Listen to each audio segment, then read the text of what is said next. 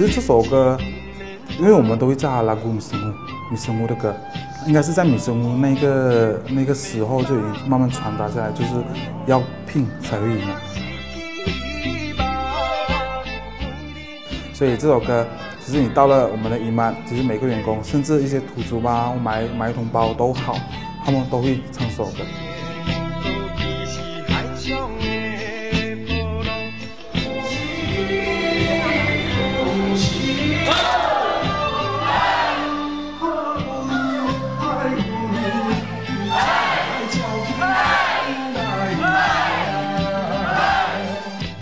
还没有讲到说。三分是要靠命运，七分是要拼出来的，而米什木就是拼出来的那一种。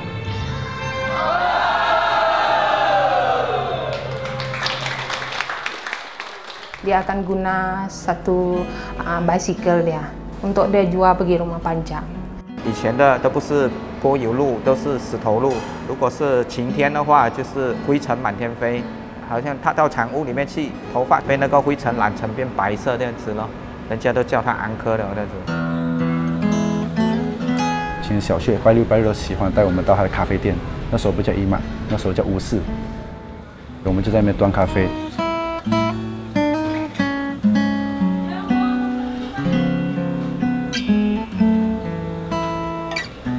然后慢慢的时候，他才去从事这个杂货店啊。但是，嗯，可能大家不知道，他十年前可能不是这个样子的，因为生意的关系，对吗？所以，啊，心情会比较暴躁一点。好，他不断的去上课程，然后，啊，他的理想越来越高，他的格局越来越大。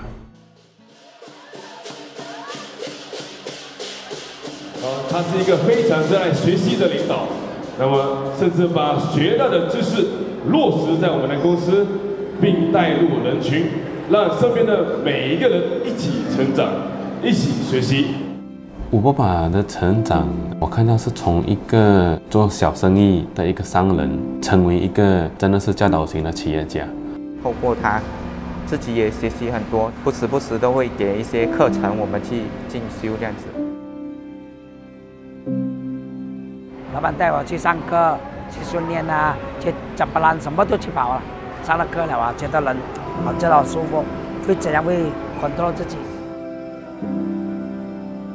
上道的精神就是吴爸爸的精神，我把他做人的一些风格、精神全部融入了这堂课程，所以我要跟吴爸爸讲，如果没有他，就没有上道这堂课。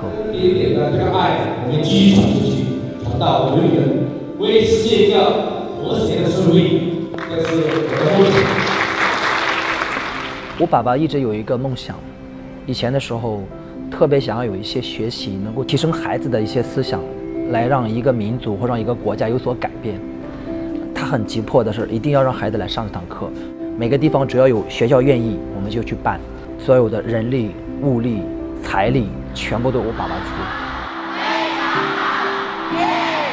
出。真的，很多的孩子有很多的改变。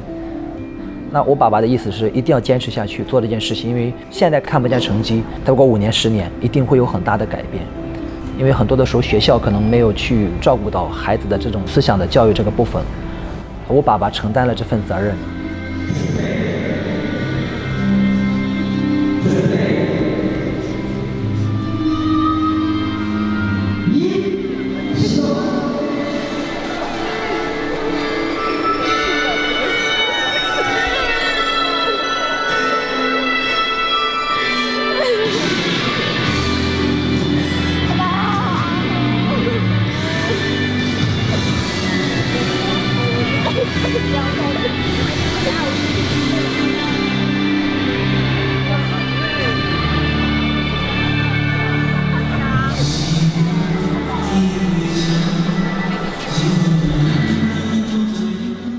他所做的事情，他的行为举止，啊，我们就感受到了他这份大爱不止在我们身上，还在很多很多很多人的身上。呃，吴伯伯是一个呃很有大爱的一个人，当然，他也是一个很无私的一个前辈。他每次想到自己的好处或者是利益的时候，他也是会同时间想到其他人。哎，我自己快乐，那么同时间其他人快不快乐？它可能是一个五年、十年，甚至二十年、一百年的一个愿景，很长远的一个路，都为着我们这个愿景啊去努力去奋斗。Dia adalah idola bagi saya sebab masa itu memang suami saya tak ada lah. Mereka suami istri memang tolong saya lah. Belanja saya punya anak, bagi susu. Itu yang buat saya tidak dapat melupakan jasa dia. Untuk saya balas balik budi dia pun tidak dapat bah. Hanya dengan ini cara saya bekerja dengan dia, beriman untuk dia. Cara saya membalas jasa dia. 对于每个人，他就想当做好像对自己的孩子这样，看到我们的时候，有时候会来一个爱的拥抱，这样，我觉得这个很温馨啊。对我们的员工，对我我的关怀，就觉得我讲，哎，也算是，呃，我第二个父亲的感觉，我会永远，永远爱他。这边我要跟 Mr. Wu 讲，就是非常谢谢你，非常爱你，那种感激、那种感动是从心里那种发出来的，不只是对我，可能对其他的员工，他都是做的那么的出色，是一个非常棒的老板了，觉得。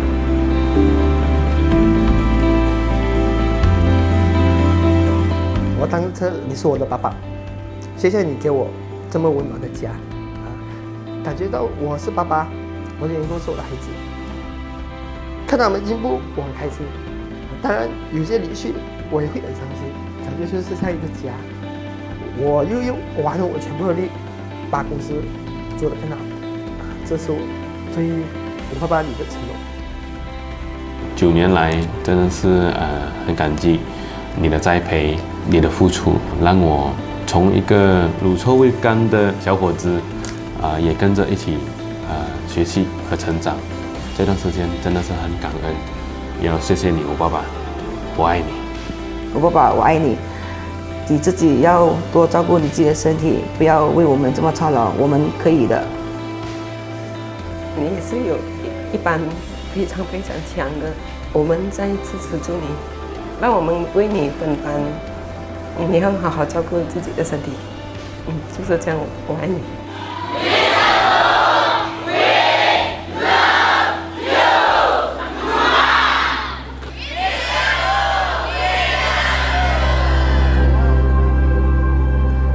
像他们也说，整天没有睡觉，因为全部都在赶工。可是我在想，为什么？什么力量可以让以前让我们这些员工这么卖命去？为公司付出，就是一个人，就是 Mr. Wu。